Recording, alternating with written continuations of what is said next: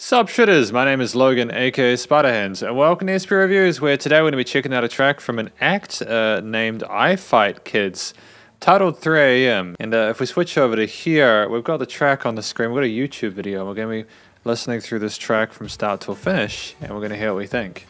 Let's go, let's do this. Haven't listened to these guys before, good chance for a first impression. We'll see how we do. Great job. Great job coming with those drums there, you know, instant groove, nice quick tempo to it, lots of energy.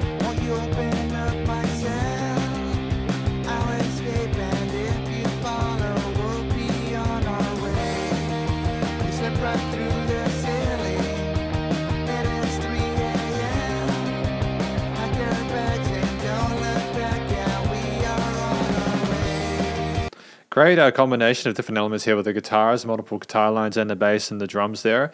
I'm, I'm picking up the vocals. The vocals sound as if they might be a little bit quiet in the mix, but that's okay. That's okay. I like the vocal melodies this guy's singing. He has an interesting texture. It is standing out reasonably amongst the rest.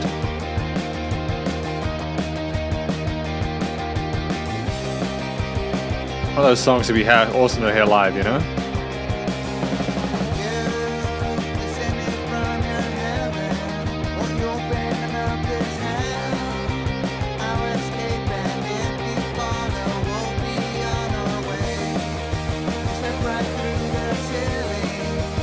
So we're talking about 3am and sailing. Is this about like waking up at 3am or so like tripping out or having dreams or something like that? Nice articulation with those high guitar parts on the right side.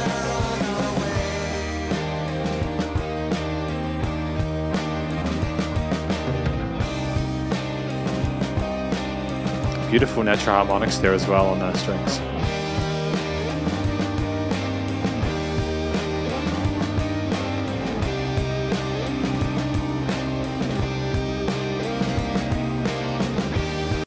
Clever stuff as well with these guitar parts. I think the distortion coming a little bit later on in the single, you know, allow further articulation of that um, lead part there, helps us stand out amongst the clean sort of chimey rhythm parts. Oh no, we've got some harmonies going on here. Very colourful.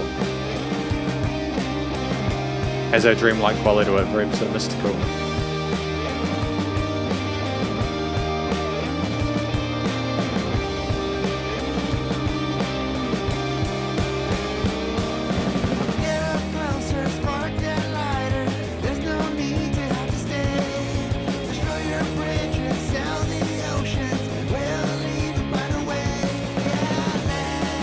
Great to have a different chord progression here, a little bit of develop sort of from a structural perspective as well, you know.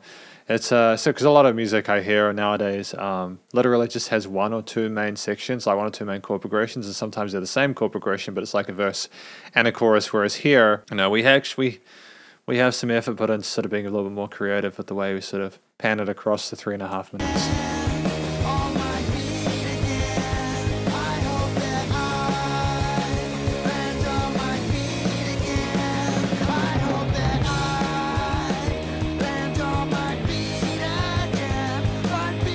Nice little bit of vocal fry here coming in from the vocalist as well. It's a different texture to what we had earlier, a bit more force behind it, a bit more on.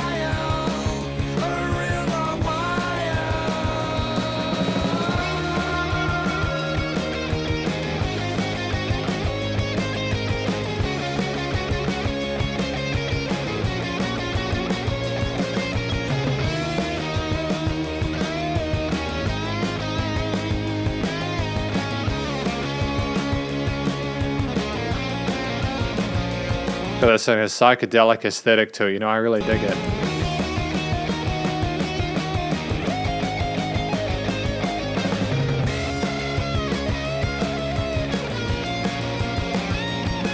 Really competently playing here, showing great technique. This hammer on pull off, offy bits and the bends and the, the, the sort of 16th notes at that tempo.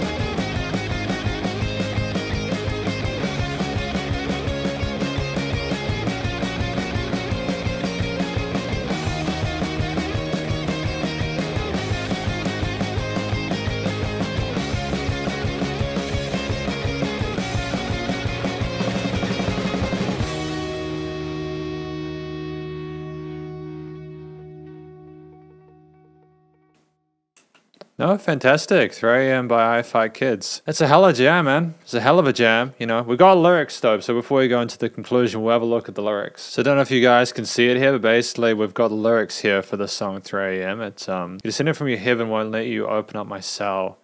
Oh, okay. Won't you open up my cell? Apologies, mis, mis misread that. great start proceedings. Yeah, okay, so this is someone being taken away from their dream, their their cell is their reality, and being taken on an exotic adventure, you know? Slip your way through the ceiling of this tree and pack your bags and don't look back, yeah, we're on our way. I kind of dig that. I like that sense of journey, that sense of um, a future we have hope and optimism for an alternative aside from what we're actually experience, living experiencing, you know? Nothing's going to last forever. Yeah, so we're we're appreciating that potentially this trip for our might not be forever. Destroyer bridges sail the oceans, we'll leave and find a way. I like that. I do I do like that. Um, I like the idea of where you are at A and finding B, wherever that may be. Being dedicated to simply not staying in a place where you are feeling sort of trapped and isolated potentially, finding that sense of connection there with the world around you, seeing what the bigger picture is. And hoping that we land on our feet again. I'm assuming you know, that even if we do go on this journey, we might not really be totally stable for a while, but they're hoping that once they go through this journey, this transition, that things will eventually sort of even out and sort of resolve themselves. And they're acknowledging it might be a while, but still, it's it's okay, you know, because this is effectively the conclusion of my review of 3am by I Fight Kids. I mean, we've talked about what the track is about in the lyrics section. The vocals here, I think, were fantastic. It's great for someone to sort of be having that sort of that dream sequence, or maybe there was more to it being explained by someone who sounds like they've actually sort of been through that that want, that will to escape and go further or go beyond to a to a different future where the grass is greener and everything else associated with that. Um, he sang it in a way that showed good good vocal technique. You know, was comfortable within his head chest voice. A little bit of vocal fry there as well in that later section, which made it sort of stand out a bit more, a bit more power to it. So that's cool. And uh, yeah, obviously knew the music theory and composition because they knew how to sort of harmonize with the other bits of the accompaniment and vice versa. And um, ultimately, there wasn't a lot of ornamentation in here, but I don't think there needed to be a lot of vibrato or anything like that. It was more sort of straightforward, sort of like kind of indie kind of rock performance here. And there was already a lot of color in the harmony, anyways, with those lead guitar parts on either side, so overcomplicating the vocal part may have been detrimental to the overall listening experience. But yeah, no, we clearly um, were passionate about what we were singing. We sung our heart out in the second part, and that first part was a bit softer, I think, just for the point of dynamic range and development of the actual sort of quote unquote feel and vibe of it um, going between those two sections, you know. I'd also say that maybe we sang a little bit more intensely in that second part, stand out from the accelerated movement of those guitars and everything, because you've got more happening in the back end, you need to sort of move it forward on the front to elevate it, you know. Um, the theme behind it was very colorful and creative and quirky and kind of surreal, I suppose, you know. I'm trying to sort of ignore the videos that I watch in these reviews because they can sometimes color or distort my views on the actual music itself. Um, but when I listen through this track, I hear someone who clearly, you know, we have a band here who, who clearly care about the music that they're creating. And they understand that you can have one sort of main sort of chord progression or bassline fill in three and a half minutes, but it might not be enough to keep people totally satisfied. So again, we split the track halfway in three and a half minutes. That's a great effort to have two different sort of distinct sections to go on a bit more of a journey as opposed to going between a dedicated verse, chorus, verse, chorus, verse, chorus, and then sort of petering out like that. I like the use as well of like the solo section to split those two. Um, but yeah, the, the motif was nice and colorful and quirky and sort of, I think, emboldened what was going on with the lyrics about the journey of the traveler on a desire for that. Had a bit of tension there, but as we went up and we ascended and saw it, it was almost like we were flying through the sky towards our next, going through the ceiling, along with the person who freed us. And I think that's a beautiful thing. It's, it's very intelligent. You know, the, the actual storytelling itself was great. You know, lyrics weren't too much. They weren't. They, there was a little bit of figurative nature to them, but it wasn't like totally straightforward. But it also wasn't pretentious. You know, we had musicians who could clearly sing and and and, and perform and play in a way that had great chemistry. And the story, I think they wanted people to understand story well and clearly and they didn't want to overcomplicate it. They wanted people to be able to sort of absorb it all at once on the first listen, and I have a lot of respect for that. Some musicians, they'll be like, oh no, take three listens to get everything. It's like, no, no, no, it's too much. People don't have that attention, especially if you're um, if you're a band that's sort of coming up. You can't take listeners for granted, and I get in trouble with that. People get in arguments with me about it, but whatever, man, it's what I think. I want to make sure the first time is the best time, you know what I mean? Basically, with the actual performance itself, there wasn't a note out of place. I did like the um, the elaborate fills from the drummer, but I also like the fact they kept to a consistent eighth note groove and knew how to interact with the bass player as well, who stuck with those root notes and was great foundational alongside them. The guitar parts were exploring all over the fretboard, lovely little bits of broken chords and some strumming occasionally, but really articulate sort of arpeggios that kind of went up and down the frequency spectrum and glided and sort of sat where they needed to and were somber and then more energetic as we went along.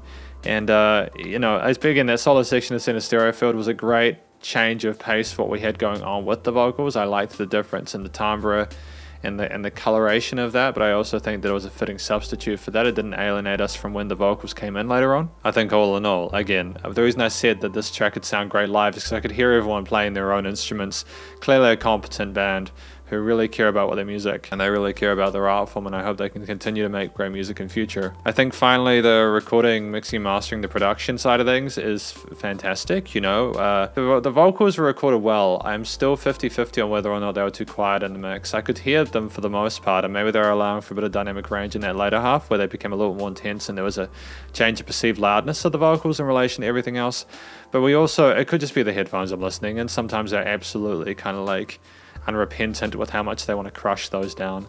Um, everything else was phenomenal, you know, like the guitar, bass, and drums were sensational. You know, they were um, side chained really, really well. It sounded like they were recording through an analog desk. It had a nice sort of warmth to it.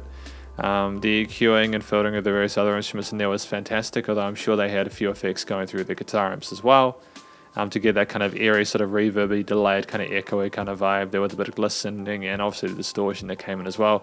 Great gain staging on that guitar tone, by the way. I'm not sure if we did separate recordings for the solo sections and stuff, but either way, it was really cool. The track was nice and loud and nice and wide in the stereo field. The limiting compression was done very, very well without any pumping or weird stuff going on, and leveling of the instruments, aside from my minor grievance with the vocals, which is subjective to me listening through different sort of devices to hear if that's the case. All in all, I'm mostly very, very, very happy with because this is my first uh, time listening to I Fight Kids. Uh, with their song 3am and hopefully you enjoyed it. If you did please go check out i fight kids various social medias and uh, the youtube page and stay cool stay safe and please remember to support your local musicians and artists at this point in time. As either hell more than ever with all the crazy stuff going on in the world and i'll catch you in the next review. Spiderhands out